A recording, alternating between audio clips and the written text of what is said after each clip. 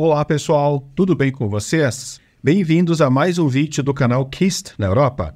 Hoje é um vídeo especial porque eu vou responder perguntas de vocês, perguntas que foram deixadas lá na aba de comunidade. Então vamos direto ao ponto que nós temos muitas perguntas a responder. Uma pergunta que as pessoas me fazem muito é por que eu optei por fazer uma plataforma de investimentos aqui em Portugal em criptomoedas. O Rodrigues, Rodrigues Filho, fez uma pergunta em relação a isso, mas eu vou responder isso por último. A última pergunta vai ser essa. O Inisébio também perguntou sobre o visto D7, qual o tempo, qual o prazo que leva para conseguir o visto D7. Mas essas são perguntas que vão ficar para o final. Vamos começar agora por outra pergunta. O Gedu Machado perguntou: Boa tarde, Kiss. Estou aguardando minha cidadania sair. Já tem 30 meses que dei entrada. Fiquei sabendo que está tudo parado pois a nova ministra da Justiça ainda não autorizou os conservadores a assinar por ela a certidão, a certidão dos novos cidadãos. Isso procede? Eu não sei dizer com certeza, mas a princípio não há nenhuma relação entre a assinatura das certidões dos novos cidadãos pelos conservadores e a posse da nova ministra da Justiça. É bem difícil falar sobre isso porque eu não tenho maiores informações. O Matos fez uma, uma pergunta bem interessante. Quais as perspectivas da valorização imobiliária no próximo ano após as mudanças do crédito imobiliário com as facilidades para quem tem até 35 anos de idade? Matos, eu acho que a procura por imóveis para os jovens vai ser vai ter um aumento significativo de procura para esse para essa faixa etária. Tem um problema que é que eu já fiz um vídeo sobre isso, é que tem muitos portugueses que estão deixando Portugal para ir morar em outros países por causa da questão da renda, de quanto eles recebem mensalmente, o rendimento do salário deles. Mas isso pode ajudar a fazer com que muitos jovens repensem essa ideia de sair aqui de Portugal, principalmente aqueles que já estão em algum relacionamento, que querem casar ou querem formar uma família. Eu acho que vai ajudar muito as pessoas dessa faixa etária a conseguir o seu primeiro imóvel. Se eu acho que isso vai impulsionar muito o mercado, eu acho que não, não vai aumentar tanto. Eu acho que vai aumentar são os fatores conjugados ou fatores os fatores somados podem ajudar um pouquinho mais o mercado, porque além da facilidade da entrada, de não ser necessário dar uma entrada muito grande para quem tem até 35 anos de idade, tem também a questão da, do começo da redução dos juros da taxa Euribor aqui na Europa.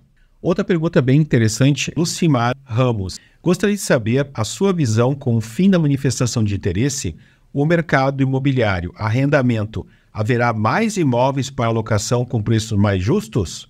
Lucimar, eu acho que com o passar do tempo, talvez dê uma estagnada no aumento do valor das rendas aqui em Portugal, eh, em função talvez da redução da quantidade de pessoas que venham para cá mas eu acho que o fim da manifestação de interesse vai reduzir um pouco a quantidade, sim, mas eu acho que vai qualificar um pouco mais as pessoas que estão entrando aqui em Portugal.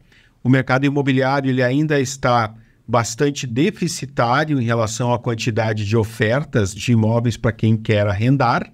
Talvez essa redução da quantidade de pessoas entrando possa frear o aumento dos imóveis e talvez trazer um pouquinho mais de opções, porque do jeito que está hoje, praticamente não há opções.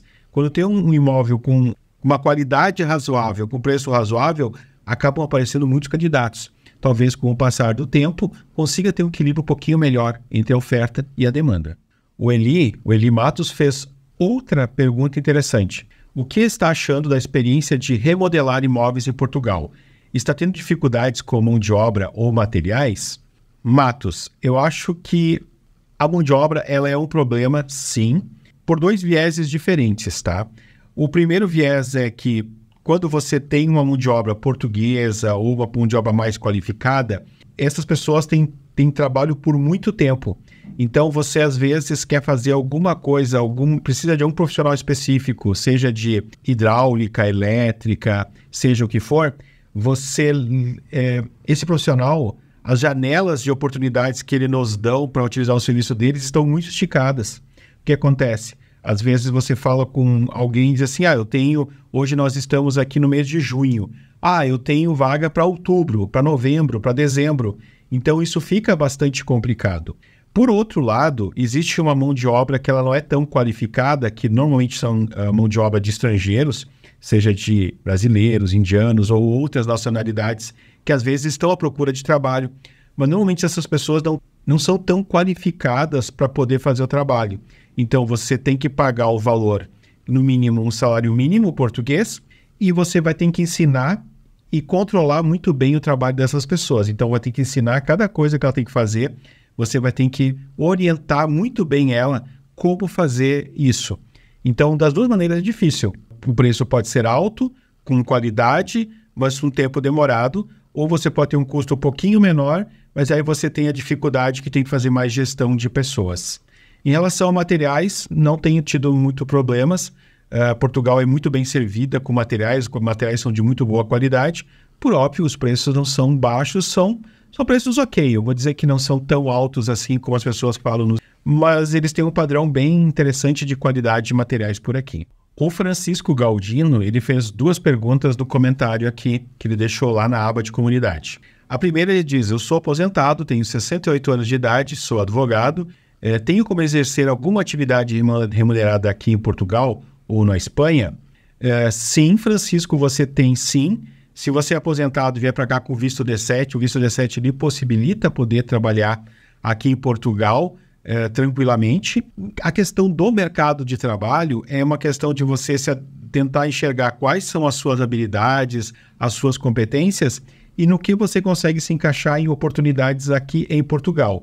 Talvez para trabalhar como advogado seja um pouco mais complexo, porque primeiro você tem que conseguir fazer uh, conseguir a autorização para poder para exercer atividade aqui em Portugal, que pelo que eu me lembre nesse momento não está sendo via, não está sendo viável fazer isso nesse momento, mas eu não sei te dizer com certeza. Mas dependendo das habilidades que você tem, você pode ter outras oportunidades de trabalho aqui em Portugal para conseguir ajudar um pouquinho na renda, além da aposentadoria que você já tem. A outra questão que ele fala é em relação à quantidade de pessoas que estão vindo nesse agregado familiar. Ele diz que são sete pessoas. Ele, a esposa, a filha, o genro, três netos. Então, uma quantidade muito grande de pessoas. A pergunta dele é que teria que arrendar um imóvel grande porque os locadores portugueses não aceitam muita gente num imóvel pequeno. Estou certo? A questão da quantidade das pessoas, sim, você vai estar com sete pessoas. Se você quiser morar tudo no mesmo local, eu sugiro que você procure a locais mais afastados e procure uma casa. Uma casa talvez com quatro ou cinco quartos. Isso vai facilmente uh, suprir as suas necessidades iniciais. Já em relação aos grandes centros, apartamentos, apartamentos T5, T4, T4, no mínimo um T4 você precisa, porque são sete pessoas, é, é bem mais complicado e os valores são bastante altos. Talvez na região de Lisboa e no Porto, um T4 vai custar mais ou menos a partir de 1.500 euros por mês o valor do arrendamento.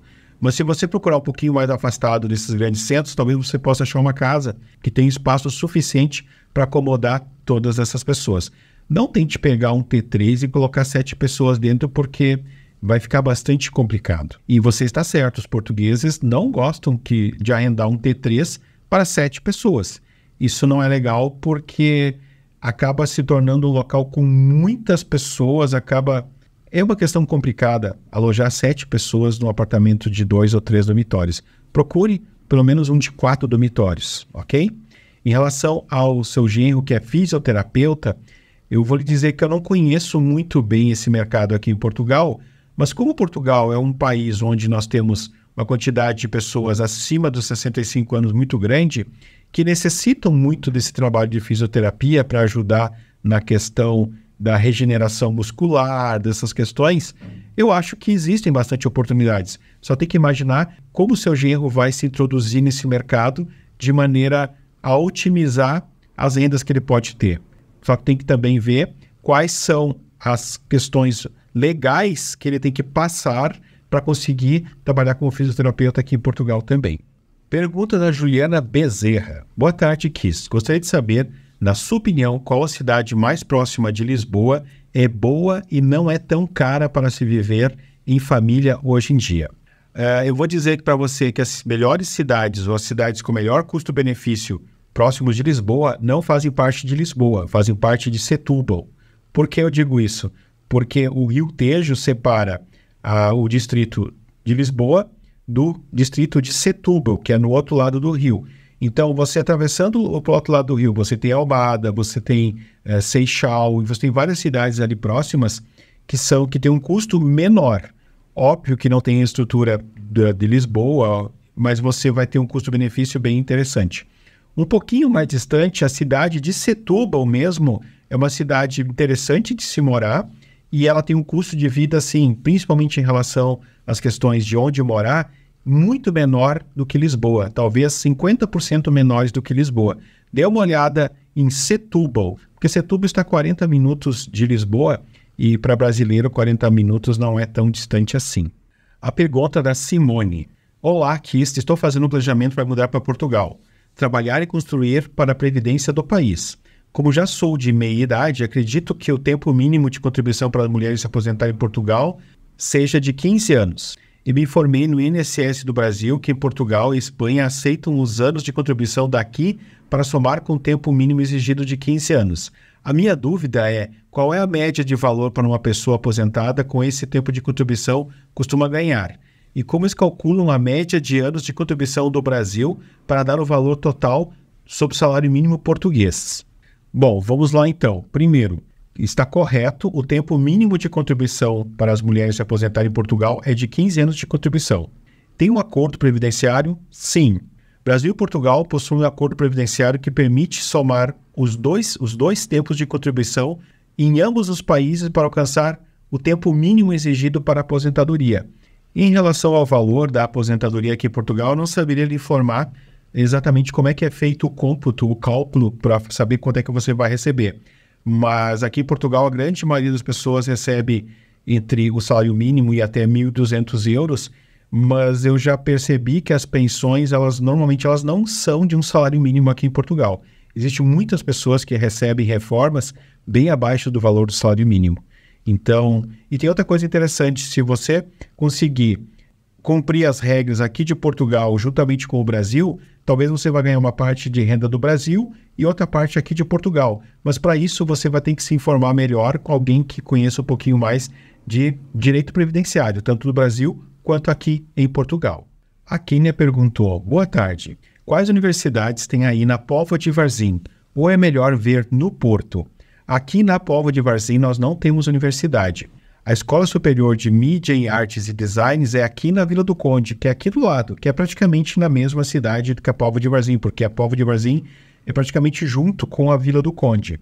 Mas uh, outras possibilidades e uma infinidade de possibilidades você vai encontrar no Porto, que usando o metro é 40 minutos no Porto, com certeza vão, você vai achar uma infinidade de cursos, porque é, é um, um polo universitário muito forte o Domingos perguntou em relação a. Gostaria de saber mais detalhes sobre criptomoedas. Quais o risco desse investimento?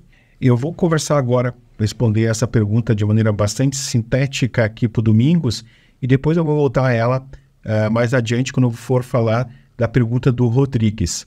Domingos, uh, criptomoedas, no meu ponto de vista, ele não é considerado um investimento. Criptomoedas principalmente o Bitcoin, eu considero uma reserva de valor, porque você não está investindo em alguma coisa que vai lhe dar um rendimento, que não vai pagar de dividendos, não vai pagar proventos, não vai pagar nada. Você está colocando tu, está transformando o seu dinheiro fiduciário em dinheiro em criptomoedas. Existe uma diferença muito grande entre o Bitcoin e as, cripto, e as outras criptomoedas, que chamamos de altcoin. Por que são altcoins? Porque são alternativas ao Bitcoin. O Bitcoin, para mim, é uma reserva de valor. Ela vai ser a moeda do futuro, com certeza. Nós se vai ser e quando ela será.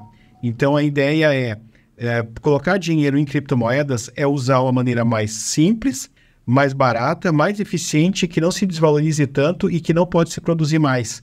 Então, essa é a questão. Eu não colocaria dinheiro em outras criptomoedas a não ser o Bitcoin e o Ethereum, ok? Vamos para a pergunta do Inizeb. Olá, Kiss, tudo bem? Tenho curiosidade para saber se, se para conseguir um visto D7 é um processo demorado. Isso pode variar um pouco, mas normalmente o processo ele leva até três meses. Você tem que reunir toda a documentação, entregar ela ou na VSF, que é uma empresa terceirizada é, que faz o trabalho de recebimento dos documentos no Brasil, ou nos vice-consulados, por exemplo, de Porto Alegre e de Curitiba. Mas uh, normalmente esse processo está durando mais ou menos em torno de 60 dias. Mas já houve alguns casos que demorou um pouco mais, que demorou 3 a 4 meses. Isso vai depender muito também de quando você está marcando fazer a sua migração, a sua mudança para Portugal. Porque se você coloca uma data dentro do processo, normalmente eles tentam controlar um pouquinho o tempo em relação ao quando você vai vir para Portugal. Mas isso não é garantia que você que vão cumprir esse prazo. Mas normalmente funciona, normalmente dá certo. Mas eu já vi pessoas que esperaram mais de 90 dias, até 120 dias para receber, para terminar todo o processo. Mas no geral, em torno de 60 dias mais ou menos, depois que você entregou todos os documentos, 60 dias após, normalmente você já tem o seu visto para poder mudar aqui para Portugal. Depois, aqui em Portugal, tem todo o processo do título de residência, tá? Então, esse visto D7 é para entrar em Portugal. Quando você chega aqui, você vai ter agendado uma outra entrevista para entregar mais documentos aqui em Portugal para ter o seu título de residência, ok? Então, a pergunta do Rodrigues Filho. Boa tarde, Kist. Eu queria saber por que optou por criptomoedas para investimento na reforma de imóveis em Portugal e não outra forma. Gostaria de investir, porém não me sinto seguro em relação a isso, a trabalhar com criptomoedas. Rodrigues, o principal motivo que nós escolhemos usar uma, um tipo de criptomoeda para fazer tanto a venda das cotas quanto o pagamento dos rendimentos mensais, a Litecoin, primeiro é por uma questão de custos, porque é muito barato nós conseguimos mandar todos os meses os rendimentos para todos que têm cotas dentro do sistema. E a gente fez um sistema que paga um valor para cada cota. A gente não soma todos os valores de, da quantidade de cotas que a pessoa tem para mandar o dinheiro. A gente manda, cada cota vai receber o seu percentual, o, a sua recompensa, o seu dividendo daquele mês. Usando a Litecoin, esse valor de transferência ele é praticamente um centavo, ou até menos que um centavo. Então, isso é muito barato para nós. O segundo motivo é que muitos gostariam de investir também, mas se nós fizéssemos através de um sistema aqui em Portugal com os bancos portugueses, nós teríamos que todo mundo que fosse receber o dinheiro teria que ter uma conta aqui em Portugal, ok? Ou nós temos que ter outras contas no Brasil e ter que fazer transferências via remessa online ou outros tipos de remessa que acabariam inviabilizando a participação de muitas pessoas. Se você não conhece criptomoedas ainda, Rodrigues, eu sugiro que você comece a pensar em conhecer um pouco, comece a saber o que é o Bitcoin, para que, que ele serve, quem está investindo em Bitcoin, quem tem reservas em Bitcoin, e você vai descobrir que talvez esteja no momento de você começar a pensar em, em, em conhecer um pouquinho melhor esse mercado, porque ele vai ser o mercado do futuro. Já existe ETF nos Estados Unidos de Bitcoin, já vai acontecer um ETF de Ethereum também. Uh, grandes mercados mundiais estão adquirindo e estão acumulando Bitcoin para o futuro, então preste atenção nisso, que isso vai ser muito importante. A Litecoin é um fork do Bitcoin e ele trabalha com custos muito baixos, então qualquer pessoa em qualquer lugar do mundo pode investir na nossa plataforma e vai receber na sua carteira digital. E outra, como nós pagamos todos os impostos já na essência do negócio, a pessoa vai receber um rendimento líquido e ela pode, a qualquer momento, se ela quiser, transformar o dinheiro que ela recebe em criptomoedas em moeda fiduciária, real, dólar, euro, no momento que ela quiser. Então, é só por causa das transações que a gente faz isso, porque é muito mais simples.